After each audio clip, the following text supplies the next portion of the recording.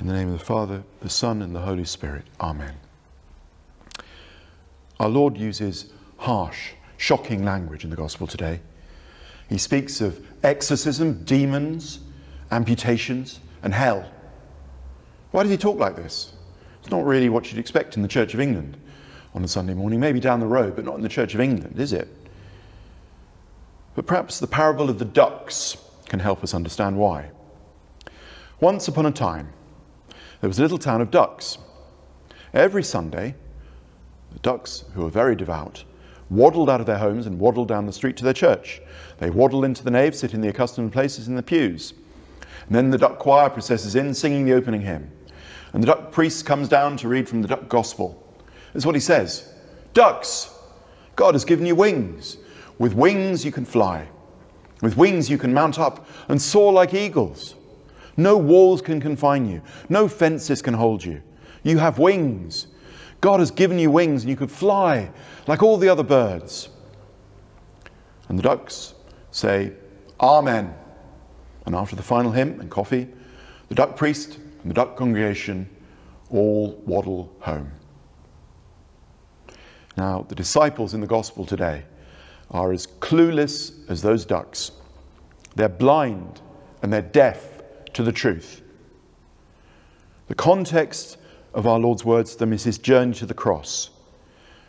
Remember, he's been speaking openly about his impending death. And it's not just talk, he's making his way towards Jerusalem. He's making his way away from safety, away from home, and towards the cross. And he knows he's running out of time. He doesn't have long now to prepare the disciples for what's coming. And so Jesus ramps things up. We can sense his growing sense of urgency in his exaggerated and violent language. The American Southern Gothic writer Flannery O'Connor used grotesque, shocking, larger than life situations in her stories. They're stories that are all about the grace of God, but they're also shockingly violent. For example, in a story called a good man is hard to find, one of her most famous stories. A grandmother meets an escaped serial killer called the Misfit on a trip to the country with her grandchildren. What can possibly go wrong? It doesn't end well for her. But I think the last words of the story, as I remember, are Misfit says something like, She would have been a saint, that woman, if I could have killed her every day.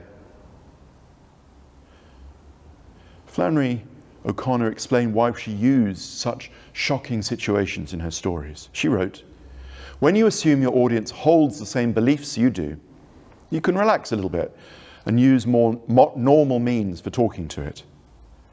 When you have to assume that it does not understand what you're talking about and have the same beliefs, then you have to make your vision apparent by shock. To the hard of hearing, you shout. For the almost blind, you draw large and startling figures. Maybe this is what Jesus is doing in the gospel today, shocking his disciples into understanding by drawing large and startling figures. This is what he says. If your hand causes you to stumble, cut it off. Cut it off. It's better for you to enter life maimed with one hand than to go into hell where the fire never goes out. And if your foot causes you to stumble, cut it off. It's better for you to enter life crippled than to have two feet and be thrown into hell. And if your eye causes you to stumble, pluck it out. Pluck out your own eye. It's better for you to enter into the kingdom of God with one eye than to have two eyes and be thrown into hell, where the worm that eats them does not die and the fire is not quenched. Last week, we heard how the disciples were arguing about who was going to be the greatest. This week, they're upset about a stranger who's casting out demons in the name of Jesus. What are you going to do about it, Jesus? They say. We tried to stop him because he was not following us. Following us. Imagine Jesus' response. Haven't they been listening at all? Don't they get it? Don't they see? This question shows their selfish desire to control his mission, mark the boundaries of who's in and who's out. Don't they see? Once again, they've shown their desire to be the greatest rather than the least, to be the ones with power rather than the ones who serve. No, says Jesus, no. Let him be. Whoever's not against us is for us. And then he drops a bombshell into their playground. He tells them, being a Christian, following me, is so much more exciting, more joyful than all this pettiness. Etern- eternity, heaven, hell, it's all real and it all hangs in the balance. Makes me think of the first few pages of Tolkien's great classic, The Hobbit. Remember the story? The great wizard Gandalf knocks on the door of Bilbo Baggins. And Bilbo's a hobbit. Hobbits are quiet folk, people who love their hearth and home.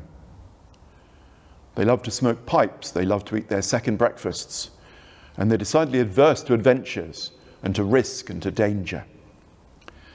And Gandalf loves what they love too. He also smokes a pipe, if you remember. But he also knows about strange events that are unfolding outside, beyond Bilbo's little world in the Shire. There's a world out there that's far more mysterious, far more dangerous, far more glorious than Bilbo's aware of. And Gandalf wants to enlist Bilbo for an epic journey out into that world beyond the Shire. I see us, along with the first disciples, as like Bilbo Baggins. Jesus knows the whole world, the whole universe. He has full knowledge of the adventure, the road ahead of us. We need the shock of his knock at our door. We need him to tell us that we belong to a greater world than we can imagine, a world where we'll have to use our wings. So, the challenge for us, I think, today is really to believe really to believe in a larger, deeper reality than our secularized culture wants us to. Our culture that keeps us busy, keeps us distracted from who we really are. Without belief in God and life after death, we forget who we are and we live in a shrunken world with a diminished sense even of what it means to be human. For the saint as for the sinner, everything for people around us, they believe, ends at our deaths. So why bother trying to be good? Moral failure doesn't require drastic action. Life's too short. That's what people say, isn't it? Life's too short. But what if? What if?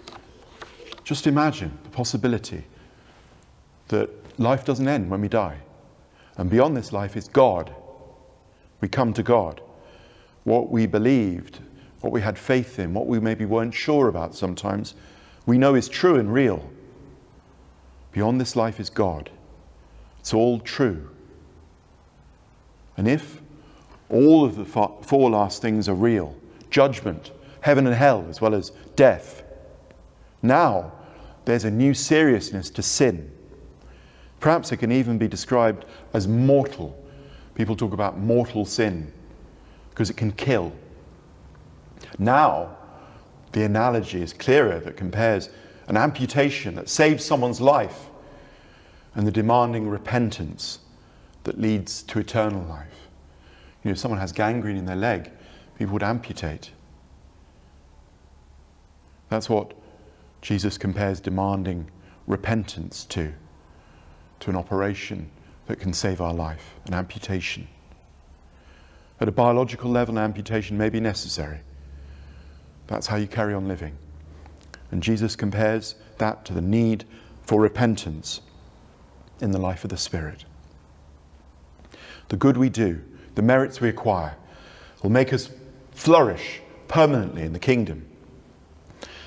An unrepented mortal sin will block that. It will be an obstacle for us when we reach the end of our earthly lives. So the challenge then is really to believe that who we are will not end with our biological death.